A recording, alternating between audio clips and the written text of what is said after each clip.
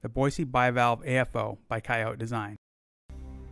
The Boise Bivalve AFO design is good for increased offloading of the foot and ankle. It is an alternative to the cumbersome Crow boot, and the shorter version takes place of the higher maintenance Arizona Gauntlet brace. The Boise brace is good for the treatment of a variety of pathologies including Charcot foot, PTTD, osteoarthritis, and for protecting ankle fusions during post-op.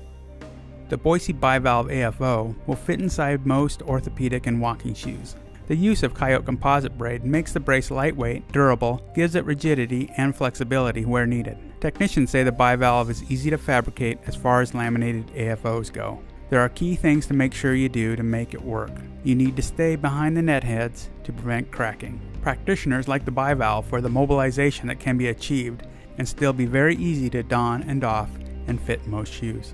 Patients enjoy the brace for its compact fit, flexibility, and comfort given by the inner boot.